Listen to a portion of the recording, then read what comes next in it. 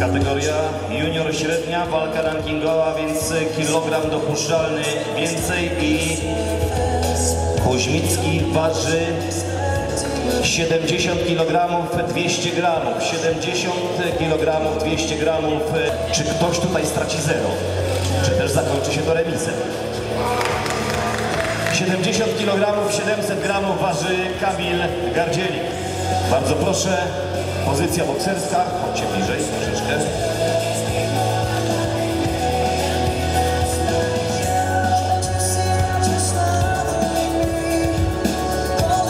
troszeczkę. I face to face.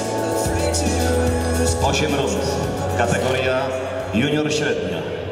Kuźmicki, a może Gardzielik.